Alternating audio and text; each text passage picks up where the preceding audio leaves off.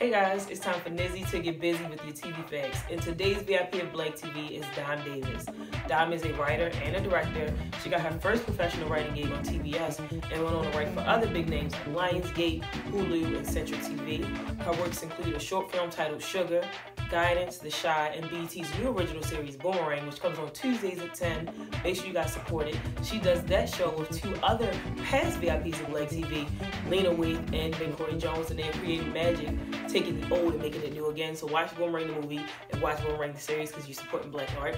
Dime Davis makes it her mission as an activist to make sure that she tells stories featuring females and minority faces. So she's about that life.